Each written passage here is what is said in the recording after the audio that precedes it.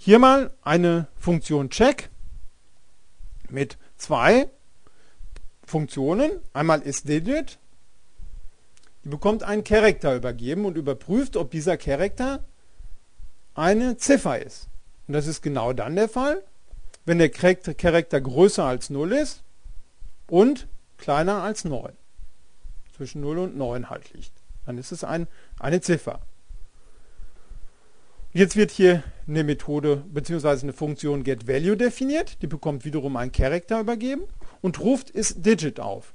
Falls es sich um ein Zeichen, um eine Ziffer handelt, dann wird zurückgeliefert der Wert dieses Zeichens als Integerwert. Das heißt, da wird jetzt berechnet Zeichen minus 0. Wenn Zeichen, hier das Zeichen, der Buchstabe die Ziffer 1 ist, wird beispielsweise 1 minus 0 berechnet, das ist 1. Bei 2 wird 2 minus 0 berechnet, das ist der, der ähm, Integerwert, 2 und so weiter. Wenn es aber kein Zeichen ist, ja, wird minus 1 als Fehlerfall zurückgeliefert und hinterher werden wir sehen, solche Fehlerfälle löst man dann, wenn man die objektorientierte Programmierung schon kennt, in Java mit Hilfe von Exceptions.